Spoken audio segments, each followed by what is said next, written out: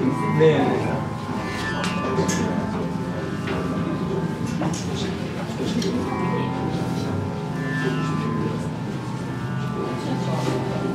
Eh, siamo un po' stretti però la musica arriva dappertutto.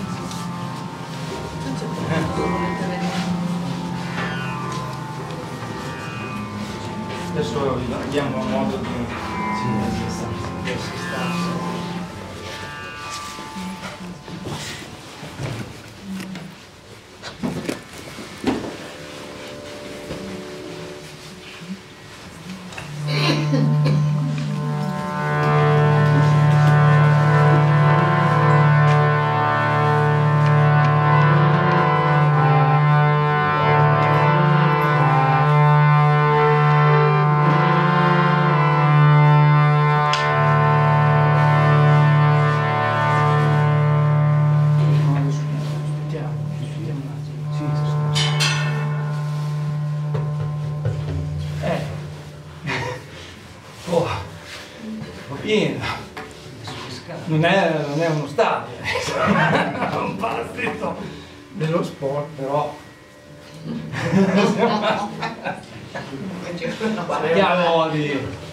Anche le scalinate potrebbero essere un'ottima galleria, no? Galleria. Bene. Eh, allora come ho detto, come dicevo prima, ripeto un attimo, sentirete il nome di Shiva, di Sarasvati, tutte divinità eh, così venerate nella parte dell'India perché questa è musica sacra, tramandata dai Veda. E quindi la proposta nostra è di associare alle, alle note musicali queste, queste ripetizioni che si chiamano mantra e sono formule, chiamano formule trascendentali perché comunque vanno ad attivare all'interno, una volta che entrano dalle orecchie, entrano dentro e vanno ad attivare dei codici di conoscenza che comunque abbiamo dentro e vanno risvegliati. Quindi è una scienza sacra, si chiama Nada Yoga, yoga del suono. Quindi cominciamo.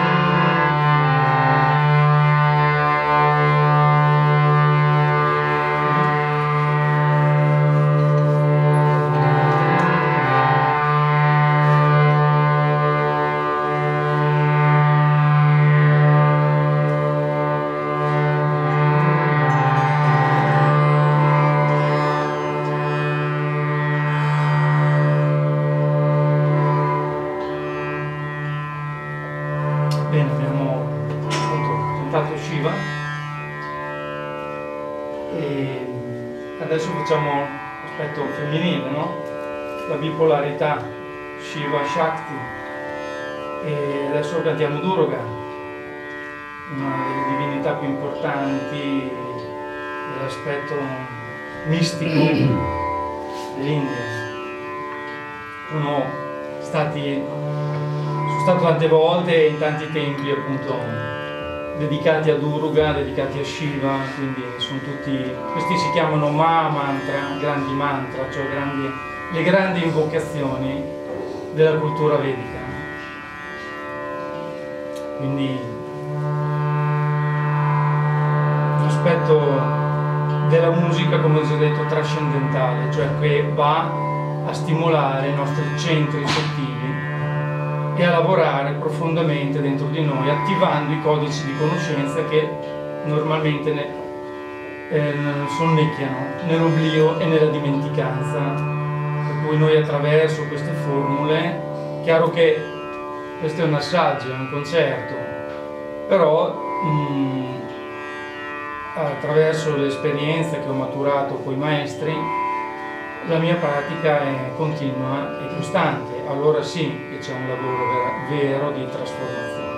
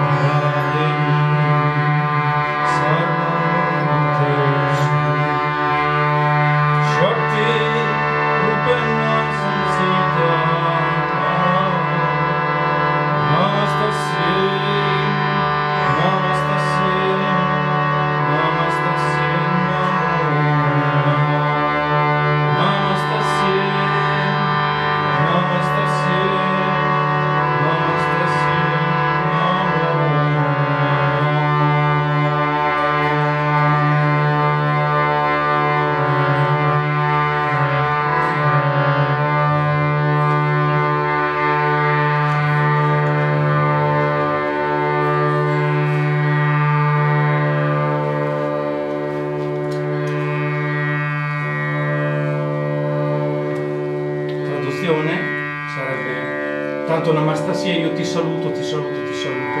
Namastasia, Namastasia, Namastasia, Namo Namah. E la traduzione eh, Duruga, cioè Shakti, l'energia madre, sei in tutte le cose, sei anche nell'energia femminile, Shakti Rupena Sansita. Cioè, quindi è un'invocazione all'aspetto materno di tutto il creato. Quindi alla femminile, vogliamo dire la femminilità donne, aspetto femminile. Bene.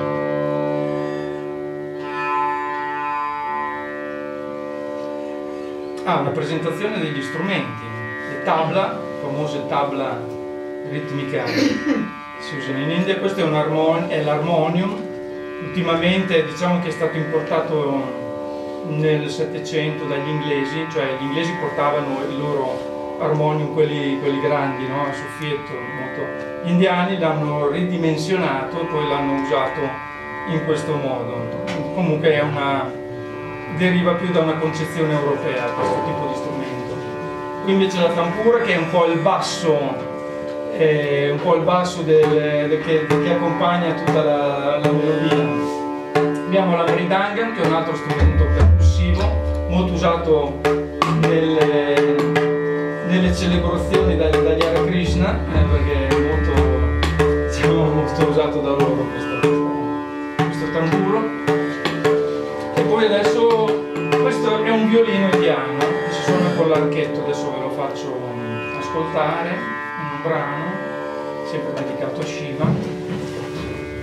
Proviamo anche questo.